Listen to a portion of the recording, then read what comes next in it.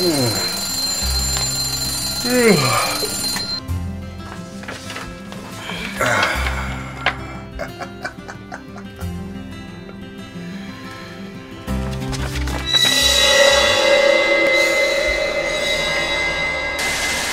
really interested in that LF31 Quantum uh, Thor model. Yeah, it's 31 feet long.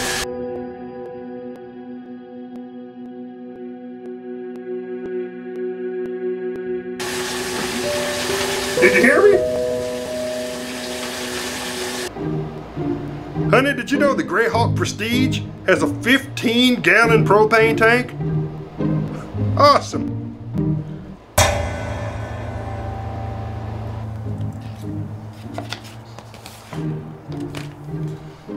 You know, full-time RVers, they mostly eat out of paper plates and cups, bowls.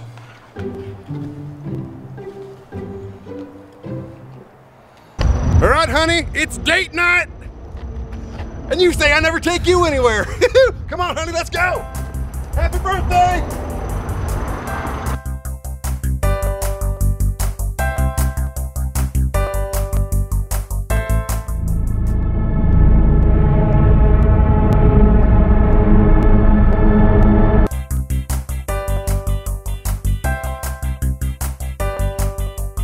Yeah, the gas mileage on that 36 footer Class C is uh, it's not that good. But if you just go down a couple feet and get that 450 Econoline chassis, uh, you're going to get much better gas mileage. And then uh, it also has more storage in the bedroom.